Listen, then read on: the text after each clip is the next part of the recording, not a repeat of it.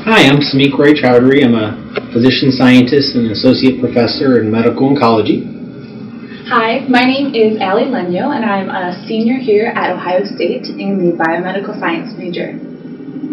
Our research team uh, at Ohio State uh, studies cancer. And what we do is understand the genetic makeup of cancer uh, in order to understand why certain cancers grow and invade, and how can we develop new therapies to treat those cancers.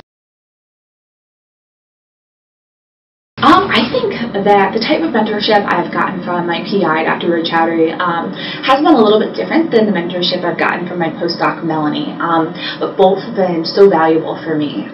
What I've been so grateful about um, with being in the lab is really the mentorship I've received, um, both from Dr. Roychowdhury and from my postdoc, Melanie.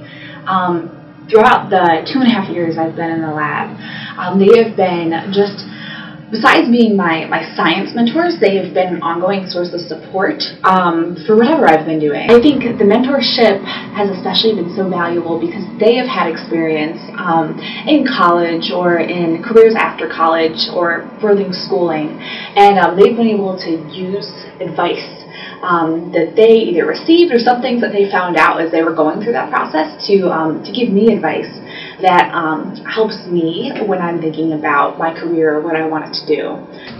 I think mentoring undergraduate students will be beneficial not only now in my career but moving forward. I think it gives me the opportunity to interact with students from all different backgrounds with different interests, whether it be pursuing a career in graduate school or a career in the medical field, or I even have had students who wanted to pursue careers in architecture. And so I think it really helps me to interact with different types of people um, and really gives me an opportunity to refine my mentoring skills because everybody is different, everybody needs different things, and so it gives me an opportunity to really expand who I am as a mentor.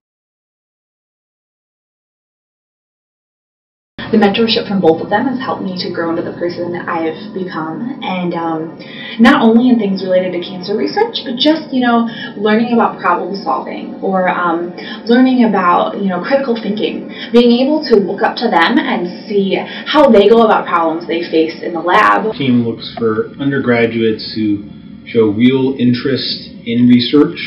Uh, and, and students who are interested in a longitudinal experience over several years. Uh, we find that that's the best way for students to develop and grow, uh, not only as they study a topic, but to develop relationships as they get mentored by our research. We can bring new ideas to old problems that we are trying to solve.